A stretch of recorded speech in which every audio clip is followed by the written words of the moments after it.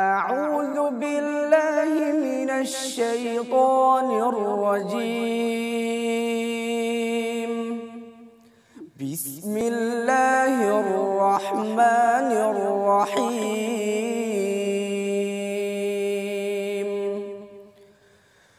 آمن الرسول بما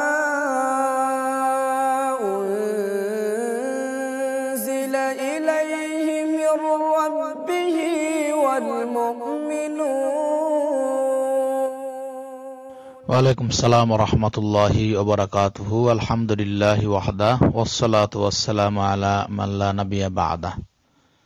এক সম্মানিত ভাই জিজ্ঞেস করছিলেন যে, দাঁড়িয়ে পেশাব করা কি হারাম?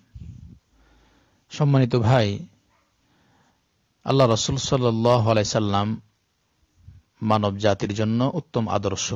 আল্লাহ সুবহানা তাআলা বলেন, লাকাদ কানা লাকুম ফি রাসূলিল্লাহি উসওয়াতুন হাসানা। তোমাদের জন্য আল্লাহ রসুল সাল্লাহ সাল্লামের মধ্যে উত্তম আদর্শ রয়েছে। তাই রসুল্লাহ সাল্লাহ সাল্লাম যা করেছেন সেই কাজগুলো যদি করা যায়, তাহলেই মানুষের জন্য কল্যাণ হয়। জি, আপনি বলেছেন যে দাঁড়িয়ে পেশাব করা যাবে কি যাবে না। সম্মানিত ভাই, ক্ষেত্র কয়েক প্রকার। দাঁড়িয়ে পেশাব করা এমনিতেই এমনিতেই হারাম। এমনিতেই হারাম। তবে হ্যাঁ আপনি এমন এক জায়গাতে গেলেন যেখানে যদি বসে পেশাব করেন, তাহলে আপনার জামা কাপড় নষ্ট হয়ে যাবে। আর এই ছাড়া আপনার কোনো উপায় নেই। এমন এক জায়গাতে গেছেন যেখানে নোংরা পরিবেশ, আর আপনার এমন পেশাব লেগেছে যে আপনি থামতেও পারছেন না।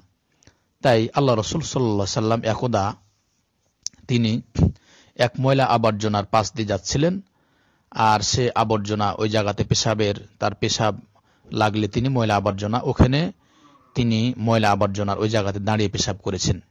তাই আপনারও যদি এরকম হয় যে ময়লা আবর্জনা এছাড়া পেশাব করার কিছু নেই, তাহলে আপনি দাঁড়িয়ে পেশাব করতে পারেন, আর এমনিতেই করবেন না। এমনিকে যেখানে সেখানে করতে পারবে না। তবে আপনি এমন এক জায়গাতে গেছেন যেখানে দাঁড়িয়ে পেশাব না করলে যদি আপনি বসে পেশাব করেন, তাহলে আপনার পোশাক, আশাক নষ্ট হয়ে যাবে।